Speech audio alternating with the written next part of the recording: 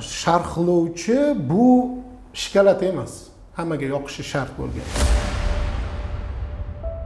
Biz e, mukammallikka da'vo qilayotganimiz yo'q. Chunki uzreport yaxshiroq taklif berib kelgan shu paytgacha. Har holda shu narsa qo'lidan kelmasa kech bo'lmaganda xalaqit berish kerak. edi nimaga? Bu bizni katta xatoyimiz bo'lgan. Futbol tv kanali afk chempionlar ligasi va o'zbekistonning jahon chempionatiga saralashdagi o'yinlari translyatsiyasini qo'lga kiritdi. Sport kanali esa a seriyani futbol tvdan yulqib olib javob qaytardi. Keyin uefa tasnifidagi barcha musobaqalar paketini sotib oldi. Bu kanallar o'rtasidagi qo'shtirnoq ichidagi jangning boshlanishini bildiradimi man afk ham ketdi.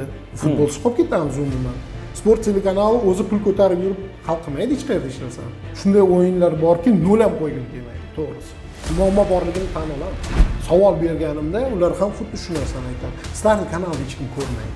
Demak sup- superligaga qancha reklama keladi deb o'ylaysiz? Qancha daromad qilamiz deb o'ylaysiz?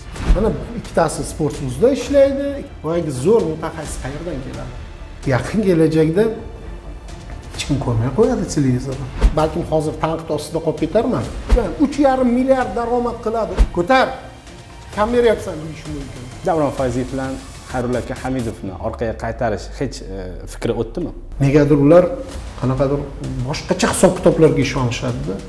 Shundan kelib chiqib ba'zan sharhlovchilarni ham efirdan olib tashlaymiz plyuslari juda ko'p. To'rt ham ochilib qolar balkim. Biz ham o'sha yerda tugagan edik. Bizda unaqa reyting yo'q. Assalomu alaykum qadrdon sportso'z youtube kanali va sayti muxlislari. Dangal loyihasi uchinchi son. Bugungi mehmonimiz sport kanali direktori rahbari izoh aka karimov assalomu alaykum. Va alaykum assalom. Assalomu kelibsiz. alaykum rahmat. Aha. tashrif uchun minnatdorchilik bildiramiz. Agar tayyor bo'lsangiz savollarni berishni boshlaymiz. Marhamat birinchi savol. Ijtimoiy tarmoqlarda so'nggi paytlarda sport kanali sharhlovchilari keskin tanqid qilinmoqda. Bunga munosabatingiz qanday? O'z aslida kuzatib borasizmi? Normal. Ehm, kuzatib boraman. Ehm, ehm, kuzatganda ham mm, endi kuzatmasa ham bo'lmaydi. Sababi qarang biz zamonaviy sharhlovchilar umuman bugungi kunda yoshlar muxlislarning qanday fikrlashiyu? Biz misol uchun rahmatli davlat aka turdaliyev davrida kelgan sharhlovchilar o'sha paytda tarbiya topgan e, deylik e, faoliyatimizni boshlayotgan paytlarimizda e, sharhlovchilar fikrlashda sal farq borda. Mana hozir talabalar bilan ko'p uchrashamiz mana sizlar yosh keyingi avlod vakillari.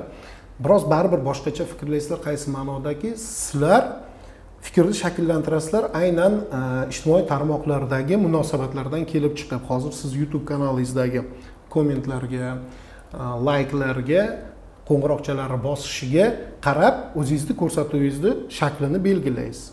Bizda biroz boshqacha bo'lgan sababi e, ustozlarimiz aytganki sharhlovchi bu shikolat emas.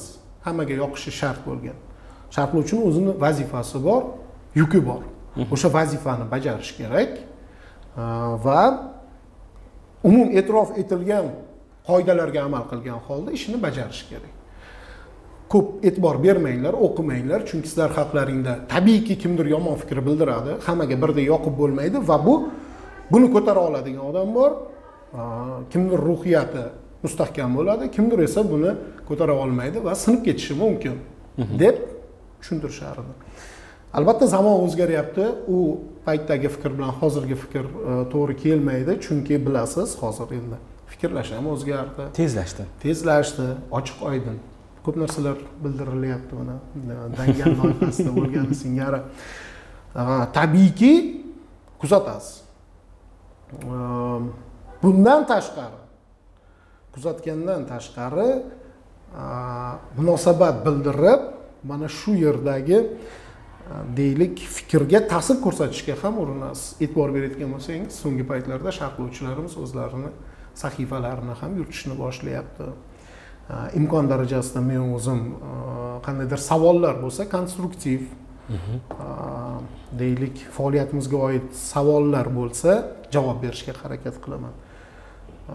Lekin hammamiz insonmiz albatta tanqid agarda bu tanqid ayniqsa adolatsiz tanqid bo'lsa jahlingiz chiqadi lekin agar adolatli bo'lsachi? Adolatli bo'lsa albatta inobatga olinadi. Muxlislarga tomoshabinlarga mana shunday adolatli konstruktiv tanqid qiladiganlarga fursatdan foydalanib minnatdorchilik bildirmoqchiman. Chunki biz e, mukammallikka da'vo qilayotganimiz yo'qda biz ham ish jarayonida ko'p narsani o'rganamiz. E, va mana shunday e, paytlarda muxlislardan tomoshabinlardan keladigan takliflar ayrim vaziyatlarda juda yam o'rinli bo'ladi va shundan kelib chiqib o'zimizni ishimizni ham belgilaydigan paytlarimiz bo'ladi. Shundan kelib chiqib ba'zan sharhlovchilarni ham efirdan olib tashlaymiz mhm. ayni damdagi sport kanalida faoliyat olib borayotgan sharhlovchilarni barchasini umumiy hisobda o'n balli sistemada necha baho qo'ygan bo'lardingiz? Chunki siz ham sobiq shah- sobiqchimi? Sobiq emas mana kecha ham sharhga kirdingiz. O'ziz ham sharhlovchisiz va yana siz e, aytib o'tdingiz e, davlat aka turdaliyevni shogirdlaridan birisiz. Eski maktab va bugungi e, talabdan kelib chiqadigan bo'lsa ayni damdagi sport kanalidagi sharhlovchilarga nechi ball qo'ygan bo'lardingiz? Rahbar sifatida. Faqat adolat yuzasidan javob bering. Qarang avvalambor e, bitta narsaga oydinlik kiritish kerakda E, baho bu nisbiy tushuncha to'g'rimi? Bizga shu nisbiy tushuncha qiziq hozir. Mana nisbiy tushuncha. Nimadan nimaga nisbatan olib qaraganda baho qo'yishim kerak? Misol uchun ko'pchilik aytishi mumkinki taniqli tan olingan sharhlovchilar ya'ni davron fayziyev xayrullo akam hamidov yoki mirzahakim akam to'xta mirzayevlardan kelib chiqib ularning sharhiga nisbatan olib sharhlaymizmi yoki misol uchun match tvning yoki okko tv okko sport e, saytida ishlayotgan sharhlovchilar bilan solishtirib hisoblaymizmi? Yoki undan ham nariyoqqa borib misol uchun angliyani sharhlovchilaridan kim? Mezon. O'zimiznikilar o'zimiznikilardan olib qaraydigan bo'lsak e, mm, har safar har xil. Shunday o'yinlar borki nol ham qo'ygim kelmaydi to'g'risi. Ehm, endi shaxsan meni tushuncham bo'yicha mm, sharhlovchi tomoshabinga futbol ko'rishga xalaqit bermaslik kerakda agar futbol haqida gapirayotgan bo'lsak sportning boshqa turida Yo'q, faqat sharhlovchining vazifasi umuman boshqacha bo'lishi mumkin endi e, futbolda nazarimda sharhlovchi e, tomoshabinga futbol ko'rishga lazzatlanishga xalaqit bermasligi kerak. E, bugungi kunda sharhlovchi aytmoqchi bo'lgan yangi yangi gaplarni o'zicha yangi deb hisoblayotgan har qanday gapni tomoshabin undan yaxshiroq va oldinroq bilgan bo'lishi mumkin. Shu nuqtai nazardan asosan o'yinning borishiga e'tibor qaratish kerak. Ya'ni agarda biz buni bir e, sahna sifatida oladigan bo'lsak u yerda e, ro'y berayotgan voqealarni e, ssenariysini o'qiy olish kerak va shuni bir sahna asari sifatida aytib berish kerakda o'ziga xos o'sha kirishi kulminatsiyasi yechimi bo'lishi kerak. Qaysidir joyida qo'lida kelsa kuldirish kerak qaysidir joyida qo'lidan kelsa yig'latish kerak tomoshabinni. Shu o'ziga xos bir e, balkim aktyor ham sifatida mana shu o'yinni tomosha qilayotganda tomoshabinga e, maroq olishga lazzatlanishiga yordam berishi kerak. Undan u yoq emas. Har holda shu narsa qo'lidan kelmasa hech bo'lmaganda xalaqit berish kerak emas. Aha, man sizni tushundimku lekin yana bir narsa borda. Masalan e, sport kanalini kuzatuvchilar soni juda yam katta hmm. O'zbekistonni. Yo'q yo'q bu haqiqat. Chunki bu baribir bizga birinchi bo'lib terma jamoa o'yinlarini namoyish etgan bugungi avlod shu kanalda terma jamoa o'yinlari katta musobaqalarni ko'rib katta bo'lgan bu kanal baribir qadrdon. Tanqidlar haqidagi fikrimga juda yam diplomatik ravishda javob berdi. To'g'risi hech narsaga tushunmadim man javob ololmadim yo o'zi e, niyat ham shu edi. niyat unaqasi ketmaydida. Endi man yana ham sochimni ochiqroq qo'yaman. Man sizni tushunaman siz rahbar odamsiz. Sizga e, boya suhbatimizdan oldin ham aytib o'tdingiz. E, tishing o'tmaydi manga deb lekin man harakat qilib ko'raman. Yo yo unday degan yo yo mayli endi. Man yana harakat qilib ko'raman. Qarang. E, siz masalan e, instagramda borsiz. Facebookda faolsiz. E, telegram yurg'izasiz man sizni hamma ijtimoiy tarmoqlaringizni ko'rib chiqdim. E, va shuni bildimki siz muxlislar bilan qochmaysiz kontaktdan. Yo'q. Fikr almashishni yaxshi ko'rasiz. Masalan man bir ikkita joyda tanqidlarga erinmasdan javob berganlaringizni ham ko'rdim va nahotki shunaqa e, internetdan muvaffaqiyatli foydalanadigan odam sport kanalidagi shaxsan mani fikrim emas juda yam ko'p keskin fikrlarga shunchaki munosabat bildirmay ko'z yumib yuborishi qanchalik to'g'ri? Yo o'zbekistonda hozir rostdan ham yaxshi sharhlovchilar yo'qmi? Hozir tushungandek bo'lyapman. Ya tushundingiz? Mana qarang e, sharhlovchilar ko'p tanqidga uchrayapti lekin nega shu sharhlovchilar sharhlashni davom ettiryapti degan savolni tushunyapman to'g'ri tushunyapman. Qarang sport telekanali bu davlat muassasasi. Sport telekanaliga ishga kirish uchun siz e, muayyan mutaxassislikka ega bo'lishingiz kerak. Shart. Shart istisno bo'lib turadi. Endi judayam iste'dodli bo'lsangiz a, milliy teleradio kompaniyasi raisiga biz kanal direktori sifatida a, murojaat qilamiz. Shu istisno tariqasida mana shu mutaxassisni olaylik. ha bu endi yomon qiladi. Shu joyida minnatdorchilik bildirmoqchiman. Hech qachon kompaniya bizga rad javobini bermaydi. Kerakmi sanga kerakmi mana shu xodim ol ishla endi uni bunday katta darajaga olib chiqib zimmangiz bo'yningizga olganingizdan keyin javobgarligi u ish beradigan xodim bo'lishi kerakda. Tushunyapsizmi? Endi hozir biz jurnalistika universitetidan talabalar chaqirib kelinglar ishlanglar mana bu yerda deb iltimos qilganimizda kelmagan talabalar talaba hali kelmayapti. Boyagi zo'r mutaxassis qayerdan keladi? Birinchi keladigan mutaxassis nima deydi maosh so'raydi. Yashang. Endi davlat muassasasida maoshlar belgilangan. O'rnatilgan me'yorlar bor.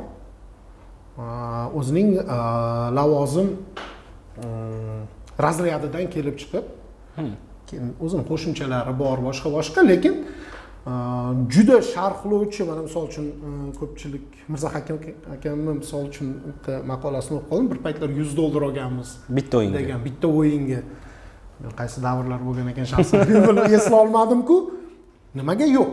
Nimaga olmasligi kerak? Sharhlovchi bitta o'yinga yuz dollar. Undan ham ko'p olish kerak aslini olganda. Lekin belgilangan me'yor bor. Mana shu me'yordan chiqsangiz siz qoidani buzgan bo'lasiz. Endi juda qonunbuzarlik bo'lmasa ham lekin aa, endi javobgarlik bor moliyaviy javobgarlik buni buzgan bo'lasiz shuning uchun belgilangan me'yorlardan chiqmaysiz. Ammo mana shu ijodni sifatli qilib imkon darajasida ko'proq mahsulot bersangiz efirga ko'proq mahsulot bersangiz qalam haqqingiz hisobiga sizni oyligingiz yaxshi ko'rinish olishi mumkin. Hmm. Va aynan mana shunday taklif evaziga kelishi mumkin bo'lgan zo'r mutaxassislar kam. Nima uchun? Ular aytadi. Men bitta mahsulot beraman sifatli mahsulot beraman marhamat qilib Narxi shuncha. deydi. Narxi shuncha deydi. Men aytamanki afsuski men bunday berolmayman. Siz menga sifatli mahsulotni bitta emas o'nta berishingiz kerak o'sha siz so'rayotgan pulni chiqarib berishim uchun. Hmm. ana gap nimada? Bu mana savolga javob berish bo'ldi. Ha chunki belgilangan me'yor bor baribir xohlaymizmi yo'qmi? Endi ikkinchi tomoni bor masalani. Boyagi yuz dollarlik sharh bo'ladimi yo'qmi? Uni ham marhamat qilib mezonini belgilaylikda. Boyagi sharhlovchi yuz dollarlik sharh qilib bera olmasa nima bo'ladi? Va u qilib bera olgani yoki qilib bera olmaganligini kim baholaydi? o'shani? Mana shu mezonlar ishlab chiqilganda e, endi mana rossiyada borku deymiz rossiyada bilasiz e, bukmeykerlar orqali ham sharhlovchilar o'zining darajasini belgilab turadi to'ppa to'g'ri ya'ni uni ko'rsa bo'ladi kim qanday to'g'ri baho e, to'g'ri e, bashorat qilyapti yoki e, to'g'ri tahlil qilyapti va shunga qarab uning koeffitsentlari oshadi boyagi darajasi oshadi. Har holda qandaydir mezonda o'lchov borda. Reyting bor. Reyting borda. Bizda unaqa reyting yo'q. Demak e, ijtimoiy tarmoqlardagi tanqidiy fikrlar bu hech qanday reytingga ta'sir ko'rsatmaydi. Chunki reytingni o'zi yo'q. Qarang ha reytingga ta'sir ko'rsatmaydi lekin sharhlarni muhim sharhlarni belgilashda aa, ta'sir qiladi ba'zan. Men o'zi doim ham aralashmayman sharhlovchilar belgilanishiga. Aa, lekin tanqidlar ko'payib ketganda ko'rib chiqaman va hattoki shunday vaziyatlar bo'ladi. Sharhlovchilarni bir oy muddatga ham chetlashtirilgan paytlar bo'lgan. Bir oy chetlashdi degani u o'sha oyda gonorarsiz qoldi degani. Faqatgina okladiga yashaydi degani. Oklad esa unchalik katta emas. Bu moliyaviy jihatdan ham unga og'ir albatta keyin ustida ishlab shu xatoni takrorlamaslikka harakat qiladi. Ish bo'lmayapti emas ya'ni yo'q shuncha tanqid bo'lsa ham bular hech qanday tanqidga munosabat bildirmay xohlaganini qilyapti degani emas baribir chora bor choralar ko'riladi. Endi biz buni ichki oshxonamizni shunchaki ko'chaga olib chiqmaymiz. Hozir nima ish qildim man yo'q siz hali siz shu ko'rsatdingizda ichkariga oldingiz ko'rmadik.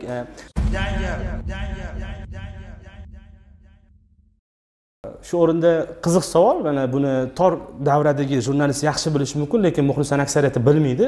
Xayrulla aka hamidov o'sha chiqib kelganlaridan keyin sport kanaliga ishga kirishdagi muammolarda siz o'zingiz o'rtaga turib kafil bo'lib ishga olgan ekansiz. Shu rostmi? Va shu jarayon haqida qisqacharoq bildirib o'tsangiz bu chunki ko'pchilik bilmaydi. juda sport kanaliga kirishda muammolarga demagan bo'lar edim. Xayrulla aka hamidov radioda chiqishlar qilib yurganida men rahbariyatga chiqib aytganman. Mana shu mutaxassisni jalb qilsak reytingimiz oshadi deb turib o'sha paytda aynan reyting tizimiga o'tish haqida gap ketayotgan edi bilasiz kantar reytinglar o'lcham kompaniyasi kirib kelgan edi bozorga media bozoriga va reklamalarning tushumi grp tizimiga o'tadi degan gaplar boshlangandan keyin reytingni oshirish haqida gap aytganmiz. Endi aslini olganda bu shunchaki rasmiy asos deb olingan ich ichimdan haqiqatdan ham xayrli akani olib kelishga harakat qilganman. Chunki shu gap bo'lganmi? Qaysi gap? Man javob beraman deganmisiz endi albatta siz kimnidir ishga olib kelganingizdan keyin unga javob berasizda. Demak bu zo'r mardlik haqiqiy do'st ishi bo'lgan ekan yo meni o'rnimda boshqa kimdir xayrulla akam bilan shunchalik tanish bo'lib birga ishlab menimcha deylik endi. Menimcha davron ham shu ishni qilgan bo'lar edi davron fayziyev haqida gapiryapman misol uchun eldor aka ham shu ishni qilgan bo'lardi menimcha. Endi o'sha paytda men rahbar bo'ldim. Shu yukni bo'ynimga men olishim kerak edi. Men kirib endi men buni juda qanaqadir qahramonlik ham deb e, bilmagan bo'lar edim lekin e, shov shuv bunchalik darajada shov shuv bo'ladi deb kutmagan taxmin qildimku taxmin qiluvdimku lekin bunchalik darajada bo'ladi demagan edim va e, bitta narsa biz e, o'shani o'zim olib kirganman sharhga. Xayrul akamni yuventus bilan kimdir o'ynagan edi o'shanda. Kirish qismini qilib o'zi futbol sharhlamayotgandim lekin aynan xayrul akani olib chiqish uchun va qanaqadir e, zarba bo'lsa ham yonida turish uchun ertaga qanday bo'ldi deganda masala ko'tarilsa a, bila turib shu ishni qilganligimni a, qaysidir ma'noda ko'rsatish uchun birga kirganmiz sharhga. Esimdan chiqmaydi. Xayrulla akam hayajonlangan. O'zi hozir tan olmaydi lekin hayajonlangan ozroq. Endi haqiqatdan ham a, judayam muhim voqea bo'lgan xayrulla aka uchun. Nazarimda ha chunki qaytgan mikrofon qarshisiga va sharh stoliga. Lekin keyin boshqa kanalga ketib qoldi. Futbol tv kanali afk chempionlar ligasi va o'zbekistonning jahon chempionatiga saralashdagi o'yinlari translyatsiyasini qo'lga kiritdi. Sport kanali esa a seriyani futbol tvdan yulqib olib javob qaytardi. Keyin uefa tasnifidagi barcha musobaqalar paketini sotib oldi bu kanallar o'rtasidagi qo'shtirnoq ichidagi jangning boshlanishini bildiradimi? Yo'q. Shu shunday katta hajmdagi savolga yo'q deb javob berasizmi? Yo'q bu bozor. Bozor. Bu bozor. Demak- taklif ikkita kanal taklif berdi. Huquq egasi mtrk taklifini ma'qul ko'rdi va mtrkga huquqni berdi bu yerda. Hech qanaqangi insinuatsiya yoki qanaqadir bir e, zagovorlar qidirish kerak emas ho'p endi man savolni boshqacharoq qo'yaman. Siz baribir kuchli diplomatsiz yana bir urinib ko'raman. Shu savolni boshqacharoq berishga. Birinchi ishlar vazirligidagilar eshitmasin. Ho'p mayli hazil o'z o'rniga. E, qo'sh tirnoq ichida e, bir birini e, translyatsiyasini olish borasida birinchi qadamni futbol tv tashladi Mm, osiyoga birinchi navbatda ular boshladi. Bu otvetmidi yo sizlarni rejanglarda bormidi? Agar deylik futbol tv o'z yo'nalishida ketganda siz o'z yo'nalishingizda ketganda sizlar uefa tasnifidagi turnir e, va a seriyani olgan bo'larmidinglar to'g'risini ayting faqat. Biz har yili taklif beramiz. Deylik mana shu o'zbekiston hududiga translyatsiya huquqiga ega bo'lgan kompaniya tender e'lon qilsa biz albatta o'z taklifimizni beramiz. Nimaga yechib yutmagansizlar Lekin- oldin? Chunki uzreport yaxshiroq taklif berib kelgan shu paytgacha. Bu safar bizni taklif yaxshiroq bo'ldi. Nega bizni taklif yaxshiroq bo'lganligini endi menimcha uni uzreport telekanali vakillaridan ham so'rash kerak. Yoki so'raymiz. egasidan.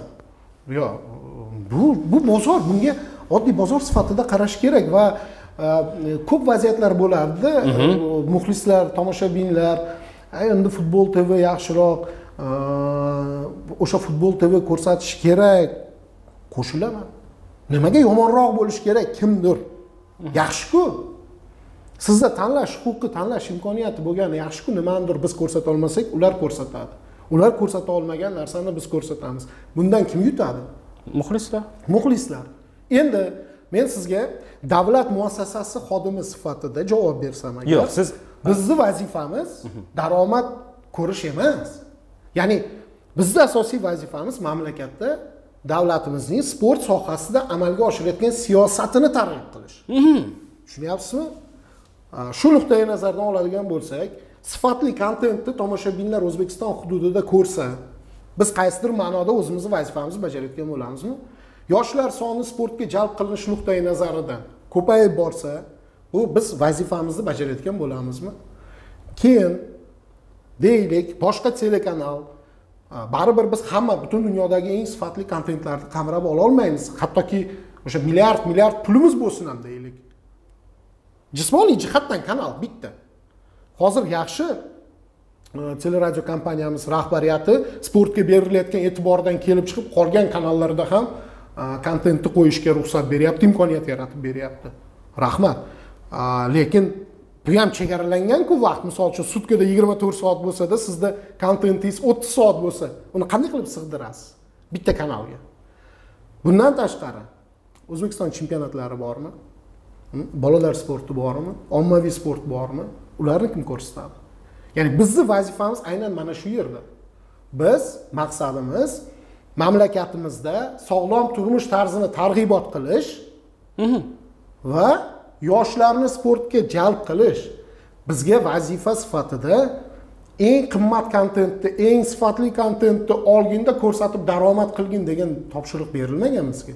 Ho'p lekin shu bilan birgalikda bozor iqtisodiyoti mexanizmlarini inobatga olib tabiiyki bizga byudjet pul ajratmaydi. Biz byudjetdan tashqari mablag'lar hisobiga sotib olinadigan narsani tabiiyki yana joyiga qo'yib qo'yishga harakat xuddi shuni so'ramoqchi edim. Mana bundan avvalgi intervyuzda aytib o'tdingizki barcha translyatsiyalarni e, davlat byudjetidan tashqari ishlab topgan pulimizni sotib olamiz dedingiz. Ho'p uefa chempionlar ligasini paketi a seriya bu e, endi biz ham jurnalistmiz shu futbol ichida yuramiz. E, biz ham ozgina nimalarni bilamiz. Bu juda yam katta summa bo'lganda savol sport kanali bunaqa katta summani yana nisbiy katta summa nimaga nisbatan katta summa? Ho'p a seriyani e, bir yillik e, anaqasi nechi pul turadi paketi? Endi uni men ham bilmayman. Chunki siz bilmasangiz moliyaviy mumkin yo yo emas. yo mo- moliyaviy muzokaralarda men qatnashmayman. Menga kerak ham emas uni bilish. Qarang. A, mexanizm qanday? Biz taklif bilan chiqamiz kompaniya rahbariyatiga. Eldor shomurodov italiya a seriyasiga o'tdi. Bu muhim. Tomoshabinlar uchun qiziq va eldorni orqasidan ergashadigan yosh futbolchilarni soni oshishi nuqtai nazaridan biz o'sha davlat siyosatini ham bir qismini qo'llab-quvvatlayapsizlar deb asoslantirib kirityapmiz. O'zbekiston milliy teleradio kompaniyasi ijodiy kengashi ha bu argumentlar asosli deb qabul qilyaptida. Ko'rib chiqish uchun media loyihalar perspektiv loyihalar boshqarmasiga berilyapti ular taklif bilan huquq egalariga chiqadi. Bizni taklif ma'qul keladigan bo'lsa biz o'sha kontentni olamiz. Mana mexanizm. Uni kompaniya hal qiladi kompaniya olib beradi bizga. Sport telekanali o'zi pul ko'tarib yurib hal qilmaydi hech qayerda hech narsani. Bizga milliy teleradio kompaniya bu masalalarni hal qilib beradi. Xo'p, mayli shunaqa ekan. Bu g'oyani sport kanali bersa kerak. albatta albatta. Demak, siz bu jarayonda ishtirok etasiz. Qanaqasiga siz hozir Xo'p, men men boshlang'ich jarayonida ishtirok etaman. Eng Uni hal qiluvchi, hal qiluvchi pallasida hali bolg'achani bunday uradigan paytida men yo'qman lekin o'sha bolg'ani siz olib berasiz uradigan odamni qo'liga. Yo'q nimaga? Men g'oyani beraman. Men mana shu kontentni olishimiz kerak deb g'oya beraman. Uni olmasligi ham mumkin. Ijodiy kengash uni yo'q ma'qul emas deyishi ham mumkin. Keltirgan vajlaring asosli emas deyishi ham mumkin. Masalan deylik ufc ho'p. Asosli emas vajlar. Ya'ni menga sardor rahimov kiradi. Ko'rsataylik to'xta? Maqsad nima? Nimaga erishamiz bu orqali? Mana ufcni ko'rsatib nimaga erishish mumkin deb o'ylaysiz? Agar shaxsiy kanal bo'lsa daromad olish mumkin. Agar ya davlat telekanali boya vazifalarni aytdim senzura. Yo'q e senzurada ham emas gap. Tushunmayapsiz qarang. man tushundim. Ommaviy sportga nima daxli bor? Mmani misol. Va bundan tashqari uni e, yo bolalar mma emas aynan ufcni bolalarni nima deydi sportga qiziqishiga aytmoqchi bo'lganim ya'ni o'sha g'oyani e, qog'ozga ko'chadigan bo'lsa buni argumenti yo'q. E, yetarli darajada pul tikiladi balkim bordir men ko'rmayapman. Sardor misol uchun menga olib kirib bera olmadi. Men kompaniya rahbariyatiga olib kira olmayman. Argumenti bordir balkim. Bo'lsa agar olib kirsak balkim ular ko'rib chiqib ma'qul desa bu borada ham nimadir bo'lishi mumkin. Tushunyapsizmi? Boyagi joyi to'g'ri gapingizni ya'ni harakat bizdan boshlanadi. Albatta. taklif bizdan boshlanadi. Shu nuqtai nazardan endi yana bitta savol hozir juda harakat qilyapsiz diplomatik javob berish lekin bu yana qaytaraman. Man javob olmaguncha beraveraman boshqacha boshqacha versiyada qarang. Shuncha paytgacha nima uchun e, deylik biroz tanaffus bo'ldi. Futbol tv uefa chempionlar ligasi e, yevropa ligasini o'z tasarrufida ushlab turdi ya'ni o'zi uzatdi. O'sha paytlari ham siz berganmisiz shu g'oyani? Afrikani musobaqalarini ular oldinroq olishdi. Ular olganidan keyin albatta. A chunki tender e'lon qilinishi birinchi afrikaga e'lon qilindi ular oldi. Ho'p ya bu bor narsa. Biz afrikani musobaqasini ko'rsatmagandan keyin nimadir ko'rsatishimiz kerakmi biz chiqdik kompaniya rahbariyatiga. Va man afrika ham ketdi. Futbolsiz qolib ketamiz umuman. Yaxshi. Nima nima taklif bor? Ha mana bu bu bu bu turnirlar bor. Yaxshi. Bu turnirni olsak qoplay olasizlarmi harakat qilamiz. Buchi bu yerda shomurodov o'ynayapti. Bu delo chessi buni olishi kerak. Kстати italiya seriyasiga men ular taklif bermagan hattoki. Mana hozir ayollar o'rtasida futbol bo'yicha Osiyo- jahon chempionatiga saralash boshlanadi musobaqa bor to'g'rimi? Mongoliya va janubiy koreya keladi. Mana o'sha turnirlarni hozir a, o'zbekiston futbol assotsiatsiyasi bizga murojaat qildi yoritib beringlar. Bu raqobatchi bilan hozirgi Hozir- paytdagi bozordagi g'alabami endi bu? Yo'q. Marhamat yoritishi mumkin. A, afrikani turnirlarini olgan telekanal lekin biz bilamizku hozircha ularda texnik imkoniyat yo'q. Yo'q. Parallel ravishda o'tadigan musobaqalarda yo'q. Bor ular ham hozir adashmasam agar o'sha ehm, ikkita bts olishdi menimcha. Bilmadim. Diyor imomxo'jayevni ehm, ehm, nimasida o'qib qoldim. Pro liga uchrashuvini ikkita parallel ravishda bo'lganini bittasini bu kanaldan ikkinchisini parallel ravishda ikkita kanaldan ko'rsatibdi zo'r. U yerda faqat sal uchta kanal ikki kameralar soni ko'proq bo'lishi kerak talab bo'yicha shu nuqtai nazardan bizga murojaat bo'ldi. Biz ko'rsatamiz nasib qilsa lekin bu afrikan turniri. Endi nima bo'ladi bu yog'i? Ko'rsatamiz. Demak bozordagi raqobat avjiga chiqadi. ko'rsatganmiz. Ko'rdingizmi bu yerda raqobat haqida gap ketmayapti bu yerda.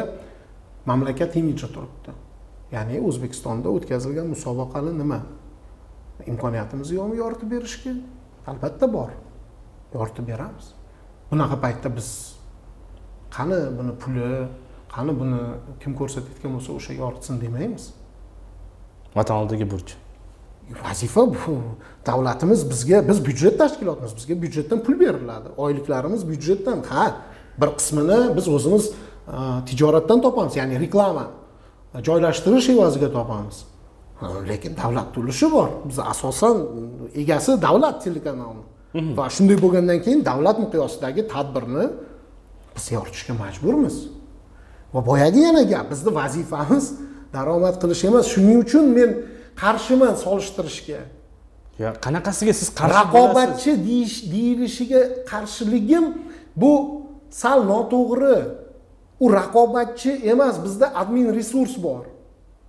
U biznes proyekt. Biz davlat telekanali ular biz bilan raqobat qila olmaydi oppa tushunyapsizmi tushundim chunki vazifa vazifa bu vazifa mutlaqo boshqa boshqa endi to'g'ri ular ham sportni yoritish mamlakatda boyagi sog'lom turmush tarzini targ'ib qilishga e'tibor beryapti men bu bilan mutlaqo ular faqat tijorat uchun o'tiribdi deganim emas lekin bosh maqsad borda. Mana har qanday ishni boshlaganingizda maqsadingiz bo'ladi biznes loyihada bu tushunarli daromad topish ijtimoiy loyihada bu ma'lum bir maqsadga erishish. Deylik bizni telekanal davlat tomonidan ochilayotganda aynan boyagi maqsadlar qo'yilgan. Endi u paytlar ikki ming to'rtinchi yilda bilsangiz agar umid nihollari universiada kabi sport musobaqalari bo'lar edi toshkent openga o'xshagan turnirlar bo'lar edi nega o'sha paytda hech kim mana shu turnirlarni biz yoritaylik demagan deylik. Da? Lekin futbol bo'yicha milliy terma jamoa o'yinini yoritishga ko'pchilik qiziqadi. Va qiziqqanlar keyin o'zini kontentidan ayriladi. Ya endi bu bu, bu, bu, bu bilan men aynan e, shunga olib kelmoqchi emasman gapni. Ya'ni kimda vazifa nimaligini sal ajratib olish kerak demoqchiman mayli ho'p vazifani bu tushundim. prizmadan qarayotganda o'zi sport kanali nima ish qilyaptiyu? Maqsadi nimayu? Bu telekanalning maqsadi nima degan oldin savolni qo'yib keyin baho berish kerak demoqchiman. Faqat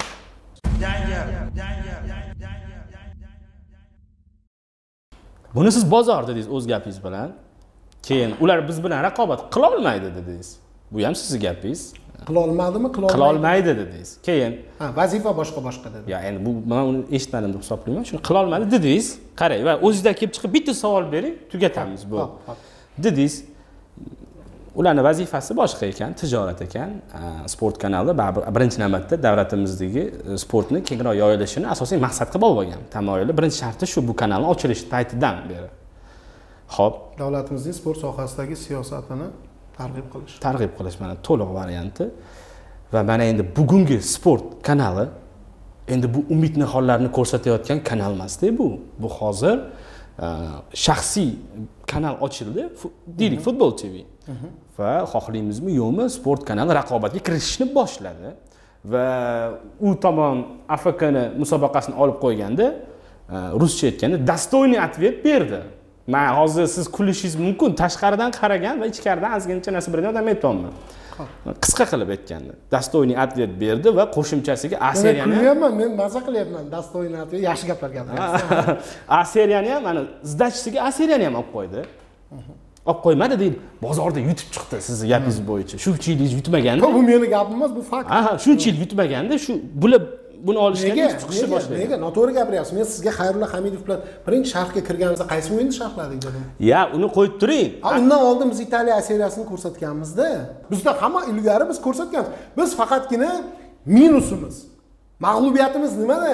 Biz buni piar qilmaganmiz hech qachon. Biz buni normal holat va qilishimiz shart bo'lgan ish deb hisoblaganmiz. Buni facebookda twitterda hamma joyda maqtanib faqat anonslar berish kerak ekan deb bilmaganmiz. Nimaga? Bu bizni katta xatoyimiz bo'lgan. Chunki pulini qoplaydimi yo'qmi ishimiz bo'lmagan. Mtrk o'sha paytda tijorat nuqtai nazaridan reklama juda ko'p bo'lgan. Baquvvat bo'lgan. Baquvvat bo'lgan konkurent bo'lmagan raqobatchi va biz arzimagan pulga huquqlarni olganmiz. Arzimagan pulga. Tabiiyki raqobatchi bozorda paydo bo'lgandan keyin boyagi kontentni narxi oshadi biz nimaga ba'zan narx taklif qilmaymiz qatnashmaymiz tenderda? Chunki bilamizki biz agar bir og'iz og'iz soldikmi bo'ldi narx ikki baravarga oshib ketadi. Chunki o'zbekistonda ikkita taklif bor. Chunki ikkita borda bir birini agentlarga foyda bu narsa. Ikkita kanalni o'ynatadi bir biriga narxini aytmaydi bu mumkin emas. Ular bergan narxni biz bilmaymiz biz bergan narximizni ular bilmaydi. Lekin agentlar nima qilishi mumkin? Ko'tar kam beryapsan deyishi mumkin bu ham ishonib unga beravermaylik deb ko'taraveradi ha tushunyapsizmi? Natijada nima qilyapti? Ikkita kanal yutqazadi o'zbekistondagi ikkita kanalni nimasini raqobatini qizdirib qizdirib o'zini manfaati yo'lida katta pul ishlayapti. Ideal holatda bo'lar ediki bu mening shaxsiy fikrim. Agarda birlashib ish qilinganda edi bitta eventni ikkita kanal sotib olib yarmini sen ko'rsat yarmini men ko'rsataman. Chunki baribir hamma o'yinlar ko'rsatilmay qolib ketadi u yoqda. Bizdaku imkoniyat bor. O'n uchta telekanalimiz bor xudoga shukur. Taklif bo'lgan. Kim tomonidan biz tomonimizdan javob qanaqa bo'lgan? Siz aytdingizku boya nasib qilsa intervyu olaman deb so'raysiz o'shanda javobini man chunki javob taklif shaxsan meni og'zimdan chiqmaganda. Lekin bo'lgani aniq. Ha demak e, javob bo'lmaganidan ko'rinib turibdiki ya'ni man boya e, siz gapimni bo'ldingiz aynan shuni so'ramoqchi edim. Ikki o'zbek e, bir xorijlikni oldiga talashib chiqqandan ko'ra ikkalasi kelishib shuni arzonroqqa olganida ikki kanalda ishlayotgan yigitlar ham sharhlovchilar ham o'sha operatorlar ham barchani bu gonorariga kattaroq foyda bo'lgan bo'larmidi? Juda gonorarga bo'lmasdiku lekin fakt shuki bozorda narx oshib ketmas edi narx navo oshib ketmas edi lekin men aytyapman menimcha kelajakda balkim shu yo'lga ham qaytilar chunki e, ikkita bo'lgandan keyin ikkalasini ham roziligi kerakda Ha? bozorda to'g'ri. Ikkita xaridor bo'lsa ikkalasi ham pul tashlashib olishga rozi bo'lishi kerakda bittasi norozi bo'lsa ham bo'lmaydi bozor. Tushunarli. Man shuni so'ramoqchi edim bo'ldi birinchi blok tugadi. Ochiq gap uchun rahmat. Baribir gapirdingiz. Baribir gapirdingiz. Mayli ozgina asabiylashtirgan bo'lsangiz ham.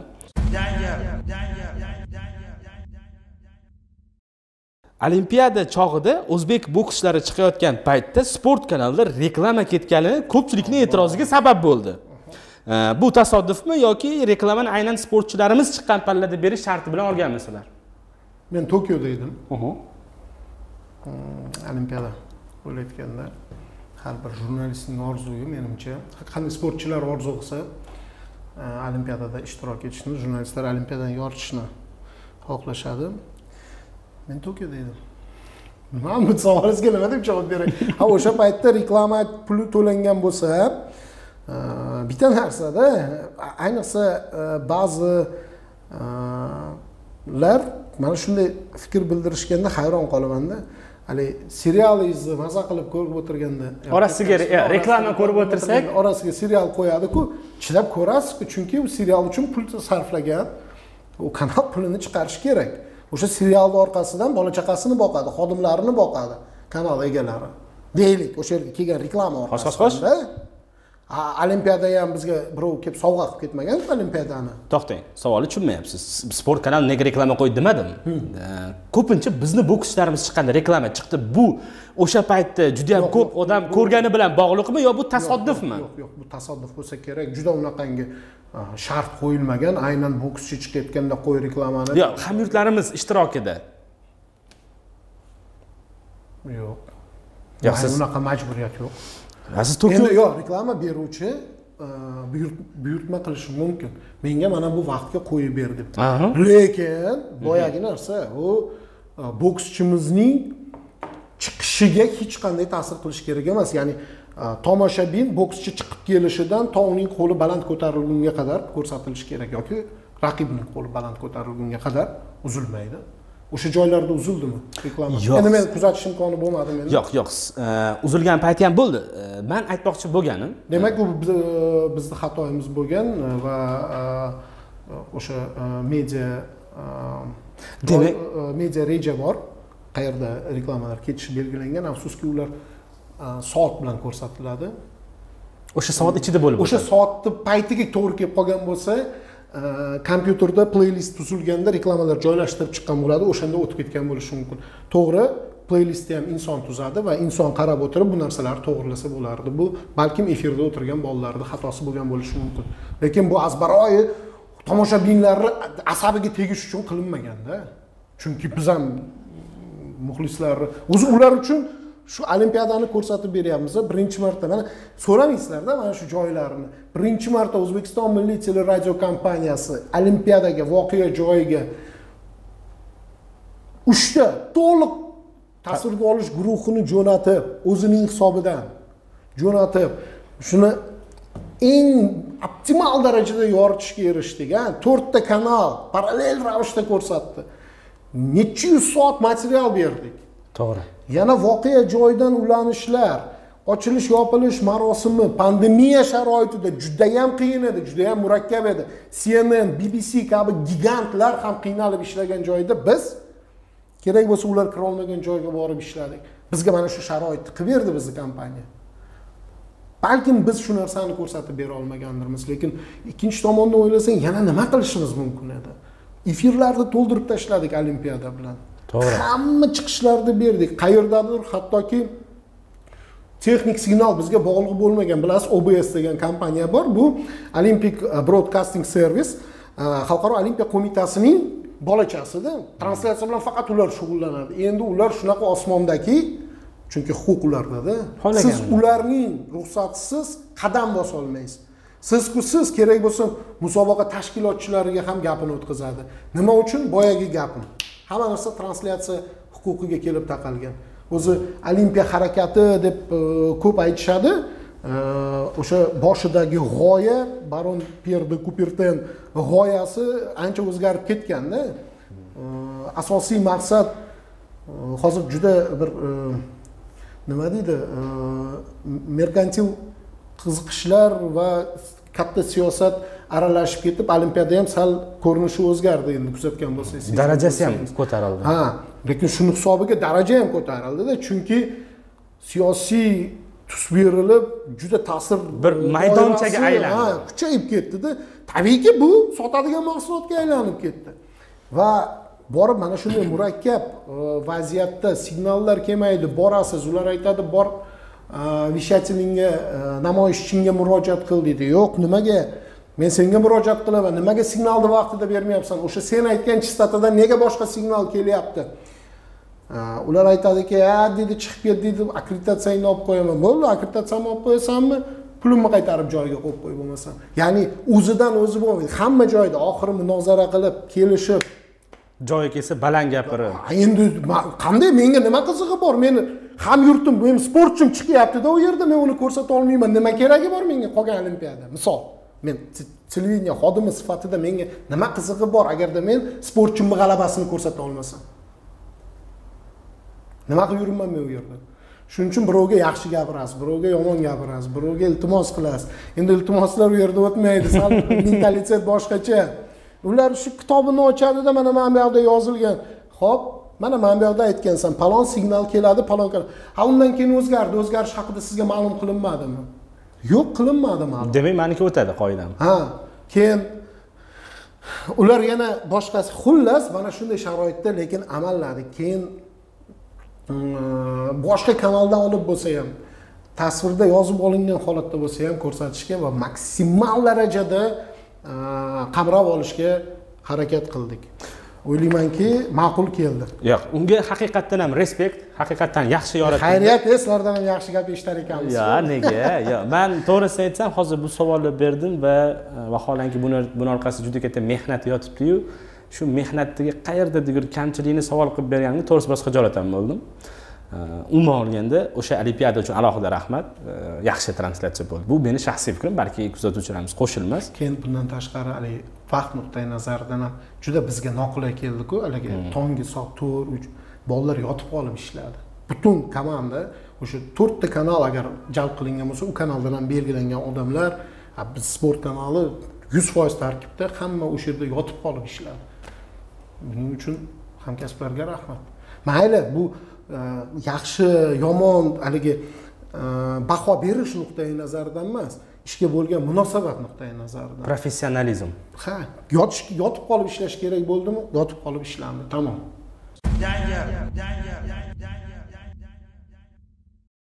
Sport ikki kanali ochildi. Bu bilan birinchi navbatda tabriklab o'tamiz. Bu katta yutuq. Chunki o'zbekistonda shu sport bir sport ikki bu natija. Chunki qachonlardir butun telekanalimizda uchtagina kanal bo'lgan o'zi qachonlardir. Qachonlarda emas yaqin o'tmishda. Va bugun aynan sport uchun ochilgan kanallarimiz soni ikkita bo'lgan. Bu baribir quvonarli. Demak shunga yarasha kontent bor shunga yarasha material borki ikkinchi kanalga muhtojlik sezildi. Ammo lekin biroq bu kanal xohlaymizmi yo'qmi televizorimizdan ko'rinmayapti. Internet orqali bu borada qanday ishlar olib borilyapti? Yana bilasizmi ba'zi o'yinlar ichki chempionat o'yinlar shu kanalda olib berilayotgan paytda juda ko'plab chekka chekka viloyatlardagi o'sha qishloqlardagi signal bilan internet bilan muammosi bor. Vatandoshlarimiz ko'ra olishmadi. Ott platformasida biz sport ikki telekanalini ochdik. Ott bu o'sha internet televideniya oddiy qilib aytganda internetdagi televideniya bu ham nimadan? Boya tanqid qildikku o'zimizni o'zimiz. Biz orqada qolib ketganmiz piar qilishni bilmaymiz o'zimizni. Garchi shuncha ishlar qilingan bo'lsada qilayotgan bo'lsakda e, biz buni ko'rsata olmaymiz deb. E, aslini olganda bu e, katta qadam. Internet televideniye hamma joyda ham bor emas. Sababi yana o'sha huquq masalasi. Internetdagi huquq namoyish huquqi ham okko sport match tvdan huquqni olib qo'ygandan keyin yana ham keskinlashdi bizning hududda. Ilgari o'zi sitanta va boshqa telekanallar bu narsani yo'lga qo'ygan edi. Va internetda kontentni ko'rish mavzusi tobora rivojlanib boryapti. Tabiiyki milliy teleradio televideniye sifatida bu segmentni ham bo'sh qoldirib bo'lmaydi. Ya'ni ertaga hamma internet segmentiga o'tib ketsa biz ko'ryapmiz hozir yoshlarimiz. Deyarli televizor ko'rishayotgani yo'q. O'tib ketsa biz tomoshabinimizni yo'qotib qo'ymaymizmi? degan fikr bilan oldinni ko'rish maqsadida mana shu kelajakka tashlangan qadam. kelajakka tashlangan qadam. Mutaxassislar aytyapti yaqin kelajakda hech kim ko'rmay qo'yadi televizorni. Hamma gadjetida ko'radi. Hamma narsani. Va shu nuqtai nazardan biz buni shaxsan mening fikrim buning juda katta bir e, yutug'i e, ijtimoiy ahamiyati va televideniyadagi salmoqli qadam bo'lganligi birinchi navbatda oltin fondimiz raqamlashtiriladi tushunyapsizmi biz uni serverlarga joylayapmizda endi bu abadiy abadiy qoladi serverlarda qoladi chunki kassetalar o'chib ketishi mumkin plyonkalar eskirishi mumkin xudo ko'rsatmasin qayerdadir tabiiy ofat sifati e, natijasida yo'q bo'lib ketishi mumkin.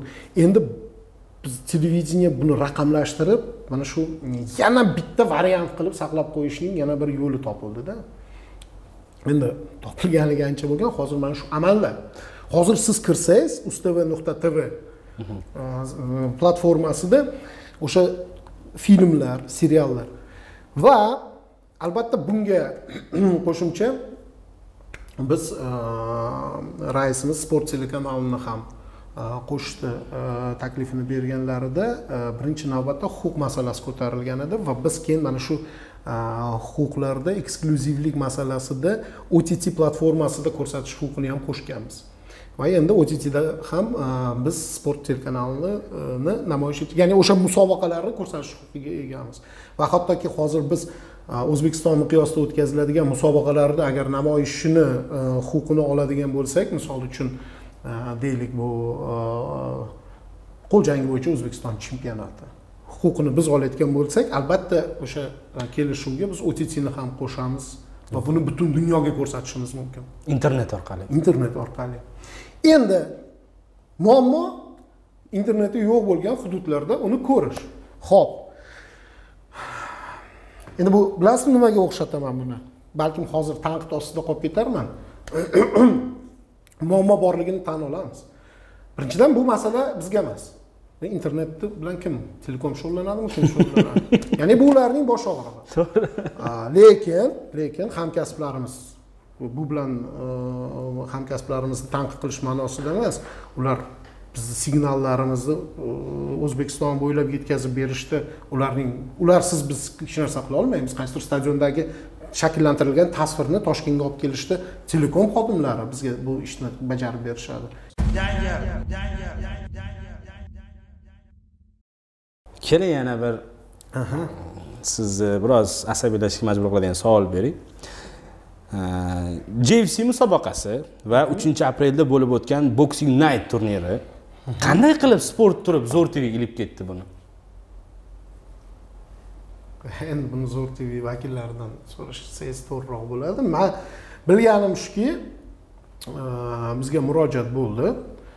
Biz texnikamiz bilan bordik. Sal salqinroq edi o'sha payt. Humo arena edi salqin edida men ham chunki sovqatib keyin oxiri uyga ketganimni eslaymanda va keyin zo'r tv telekanaliga huquq namoyish huquqi berilganligi haqida xabar qilishdi. Bizga ko'rsatilmasin deb bo'ldi. Tugadi shu yerda savolni javobi. biz ham o'sha yerda tugagan edik. Nima deysiz musobaqa tashkilotchisi sizga huquqni bermaydi? Qanaqasiga ular birinchi sizlarga chiqqan murojaat bilan? Yo murojaatga bee'tiborli bo'lganmi sport kanali tomonidan. Man nima uchun bu savolni beryapman sport kanal o'zi olib berishi shart bo'lgan musobaqalarni shunchaki berib yuborishi yo bu yerda ham boshqa narsa bormi? Agar ochiqlay olsangiz zo'r bo'lardi. Yo'q bu bu judayam menimcha bir qanaqadir bosh qotirma emas. Bizda rahbariyat bor.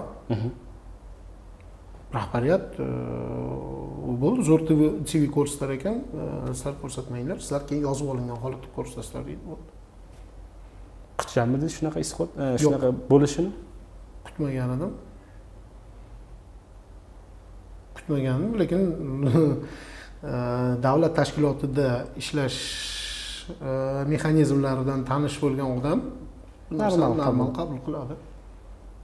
Chunki bizdan yuqori turuvchi tashkilot bor. Ya'ni o'zbekiston milliy teleradio kompaniyasi u yerda bizni rahbarlarimiz qabul qiladigan qarorlar bor biz shu qarorlarni bajaramiz.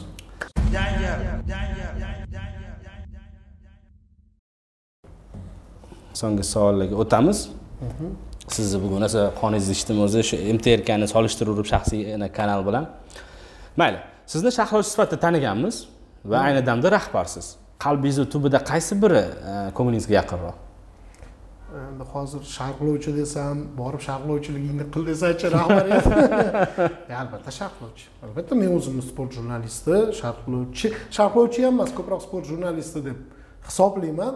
Garchi jurnalistik faoliyatimni to'laqonli amalga oshira olmasamda lekin haligi nimagadir xohish istak bo'ladiku balkim o'sha nostalgiyadir eh mana bu ishlarni qilsam bo'lardi mana bu joylarni yoritsam bo'lar edi tashqaridan turib. Ha bir xayolingizda o'tadi kechalari yotganingizda yoki qaysidir reportajlarni boshqa telekanallardan ko'rgansizda men bunday qilib yuborardim bundan ham yaxshiroq qilardim mana bu muammoni ko'tarib chiqardim deb o'ylaysiz ertalab ishga borasiz boyagi. Qog'oz ish masala muammolar ichida o'ralashib ketasiz. Bo'lmaydi endi ba'zan sharhlab turaman. Chunki aytdim sharh bu gonorar endi men ham bola chaqa boqishim kerak. Ba'zan shu nuqtai nazardan ba'zan esa xuddi kechagidek bo'lgan noilojlikdan. noilojlikdan chunki sharhlovchilar yetishmayapti. Hozir biz judayam ko'p eventni olganmiz. Ularning hammasiga ham sharhlovchi ketkazish qiyin bo'lyapti shu yerda bitta savol bersam maylimi bemalol. Aytib o'tdingiz event olganmiz sharhlovchi yetkazib berish qiyin bo'lyapti deyapsiz. Davron fayziyev bilan xayrulla aka hamidovni orqaga qaytarish hech fikri o'tdimi? Taklif bilan chiqdingizmi? o'zlariga ham ko'p taklif berganman. Eshik ochiq deganman ularga. Aynan ularga eshik ochiq. Aynan ularga? Qolganlargacha uni o'ylab ko'rish kerak. Qolganlar nima ish beradiki bizda bor bo'lgan xodimlar qila olmasa. Sharhlovchilar штучный mahsulot. Штучный dona dona donali mahsulot. Endi xayrilla aka davron mahsulot deb yubordim sizlarni xafa bo'lmaysizlar bu donabayda bu konveyerga o'xshab chiqmaydi. Mana hozir biz talabalarga borib men o'zim ozroq dars ham beramanda Ehm, endi amaliy dars deyiladi. Haligi ko'rgan kechirganlarimizni gapirib ozgina tajribamiz bilan o'rtoqlashamiz. Men juda o'zimdan bir domla yasamoqchi emasman. Qo'ldan kelguncha. Xullas o'sha yerda har doim boyagi verbovka ketadi. Voy kelinglar. Biz kanalni o'zlaring sinab ko'ringlar. Boshqa qilinglar. Judayam taqlid qilish ko'p. Yosh sharhlovchilar o'zining stili bilan chiqib keladigan sharhlovchi yo'q. Bu boyagi hozir bermoqchi bo'lgan savolingizda nimaga ho'p xayrulla hamidov kelmayapti ekan davron fayziyev kelmayapti ekan nega e, o'zingizni hamidov va fayziyevlaringizni yetishtirib chiqarmayapsiz demoqchi bo'lgan savolingizga savollaringizni ham e, bilmayman ilgari endi hozir gapirsak xuddi dardimni aytayotgandek bo'lib qolamanda ilgari biz televideniyaga kirish uchun soatlab kutardik. Rejim obyekt hisoblanadi qo'riqlanadi. Ko'chadan to'g'ri kelgan odam kirib ketmaydi. Lekin ichkaridan sizni birov chiqib olib kirib ketishi mumkin. Yoki ro'yxat asosida kirishingiz mumkin. Yoki o'sha bir martalik kirib chiqish ruxsatnomasi pasportingiz bilan kirasiz. Masala yo'q. Lekin muammo shundaki sizni ichkaridan kimdir chiqib olib kirishi kerak. Ana shu ichkaridan chiqadigan odamni kutib o'tirardik. Biz hozir ro'yxat qilib qo'yib qo'yganmiz eshik tagiga. Kelasiz pasportingiz bilan shunday ko'rsatasiz. Qo'riqlash xizmati xodimlariga sizni kirgizib yuborishadi. O'sha pastiga men imzo qo'yganman bo'ynimga olganman. Kelmaydi talabalar. Kelmaydi? Kelmaydi. Mana ikkitasi sportsuzda ishlaydi ikkitasi yana boshqa joyda. Saytlarga ketib qolishyapti kanalga kelmayapti. Balkim moliyaviy jihati qiziqroqdir saytlarda. Bilmadim nimaga sizni jiddiy inson qiyofasida taniganmiz. Aytingchi birdaniga don mavrinyoni kuzatuvga olgan agent. Bu qayerdan chiqqan g'oya? Bu buni tarixini so'zlab bersiz chunki bilmadim kuzatuvchilarimiz qanday baholadi ommaviy axborot vositalari bu narsani uh yaxshi qabul qildi. Bu yaxshi yoqdi boyagi gapni e, biz e, reklamada piarda ancha orqada qolganmizu shunaqa bir yurish qildik. E, to'g'risi bizni oqiladi. Yurish to'xtang maqtab qo'yib vaziyatdan foydalanib oqiladi. Shaxsan man maza qildim. Yo'q qiziq emas bu o'zgacha. Yondashuv o'ylab bu ertalab o'sha men aytgan boshqarma borku perspektiv mhm. teleloyihalar o'sha boshliq telefon qiladi zohid aka e'lon qilishingiz mumkin. Bo'ldi shartnomaga qo'l qo'yildi. A seriyasi qo'lga kiritildi. A seriya bizniki. Ha e'lon qilishingiz mumkin deyildi. Shundan so'ng e, ishxonaga kelayotib e, o'yladim. A seriya italiya shomurodov e, zuhriddin qilichev degan yigitimiz bor. Mana shu ijtimoiy tarmoqlarni yurg'izishda faollik ko'rsatib yuradi. Ijtimoiy tarmoqlarga endi yangiliklar o'z o'zidan o'zbekiston yigirma to'rt yangiliklarga intervyular tashkil qilsak va ijtimoiy tarmoqda baribir endi sizlar hamkasblarimiz tarqatishga yordam beradi. Deb degan rejalarni tuzib kelayotgandim endi har holda bu kun voqeasi bo'lishi mumkin edida. Hafta voqeasi during va kelayotganimda e, bizda milliy teleradio kompaniyamizni hovlisi ancha keng daraxtzor o'sha yerda mushuklar yurgan ekan. Boshqa keyin nimagadir xayolimga keldida. Shu mushukni o'tirib silab uzuk bo'lsa uni yirik planda olinsa o'zim tushmasam bir do'rillagan tovush bilan italiyani oldik deb shu bilan kelib xonaga mm, shu taklif bo'ldiki darhol bitta operatorimiz bor. Davron mansurov degan kreativ yigitlarimizdan. Chaqirib g'oyani aytdim. Bir endi italiya italiya nima bilan mafiya keladi? Italiya mafiyasi va biz go'yoki bu mavzuda shunday bir deylik. Nufuzli narsani bir oqsuyaklarga xos bo'lgan bir eventni olib ko'rsatamiz. Degan bir e, maqsad bor edi. Ozroq maqtanchoqlik ham qildik endi xursandchiligimizdan. Mana shu italiya seriyasi va birinchi italiya seriyasini olib ko'rsatganmiz. Masala yo'q. Aynan shomurodov uchun xursand bo'ldikki biz eldorni o'yinlarini ko'rsata olamiz. Aynan mana shundan xursand bo'ldik. Misol uchun romani e, o'yinini ko'rsatasan faqat. Lekin e, qolganlarini ko'rsatmaysan sharting nima deganda men aytardim. Hammasida eldor boshidan oxirigacha o'ynasa qolgan bironta o'yinni ko'rsatmaslikka roziman faqat romani ko'rsatamiz deb. Haqiqatdan ham eldorni e, o'yinlarini ko'rsatishimiz huquqini qo'lga kiritganimizdan xursandlikdan hattoki ko'rdingizmi ijod qilib yubordik bu bu chiroyli yurish bo'ldi chiroyli yurish bo'ldi. Ayniqsa dilshod to'xtabekovni o'ylagan rol boshlarini ko'tarib. To'g'risini ayting e, ayni damda ana shu yurish uchun afsus chekmaysizmi?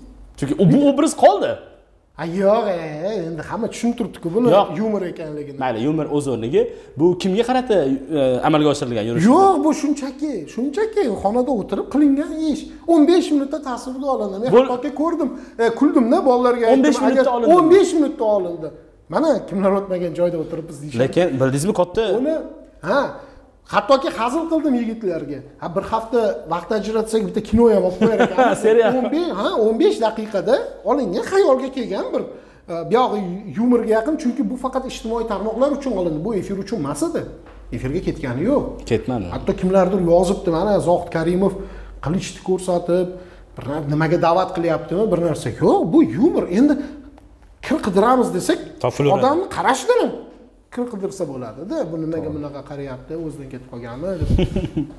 Endi ijod qildik davlat efirini mas'uliyatini his qilamiz.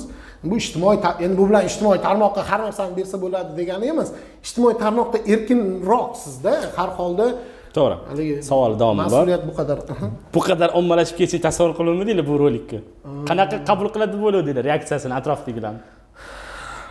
Shaxsan man tushunmay qoldim to'g'risi orqasini o'ylaganimiz yo'q. Original fikr g'oya? Ha yaxshi yoqdi. Ko'rdik o'zimiz. Bizga yoqdi. Kuldi hamma. Keyin so'radik.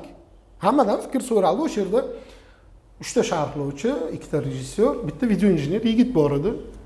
Fokus gruppa qildikda. Kim qanday hamma fikrini bildirdi. Hamma ma'qul dedi. "A, bu ma'qul bo'lsa olib qo'yib yubor shunaqa bo'ldi E, zohid aka bugungi suhbat uchun haqiqat uchun avvalambor minnatdorchilik bildiraman. Maza qildik juda ko'p narsalarni o'zim uchun o'rgandim. Mm, Tangani orqasida nimalar borligini bildik. Mm, suhbatimiz so'ngida eh, sportsuz sayti kuzatuvchilariga fikr va eh, tilaklaringiz bo'lsa marhamat. Ya endi tilaklar o'sha har doim eh, yaxshi kontentdan bahramand bo'lishlarini tilayman. Sports.uz e, sayti bizga begona sayt emas hattoki nomi ham o'xshash hamkorlik ko'p qilganmiz zo'r sayt kuzatib boringlar har holda qandaydir arzon sensatsiyani orqasidan quvishni men shaxsan men kuzatmaganman adolatli imkon darajasida manbani tagiga yetib ma'lumot olishga harakat qiladigan yigitlar shuning uchun sports.uz saytiga omad tilayman tomoshabinlariga muxlislariga. E, youtubeda tomoshabin bo'ladiku Albatta. E, va e, sizlarga ham yigitlar omad hamkorlik qilaylik. E, yaxshi yaxshi qiziqarli e, kontent ko'paysin va o'z navbatida e, endi sports.uz e, sayti youtube kanali tomoshabinlari menimcha yuqori ehtimol bilan sport telekanalini ham ko'rishsa kerak. Albatta. Zo'r yangiliklar bor oldinda hali. Kuzatib boring bizni juda don mourinyo bo'lmasa ham oddiyroq qilib bo'lsa ham albatta o'rtoqlashamiz yaqin kunlarda. Va o'ylaymanki hamkorligimiz davom etadi katta rahmat. Sizga katta rahmat e'tibor uchun.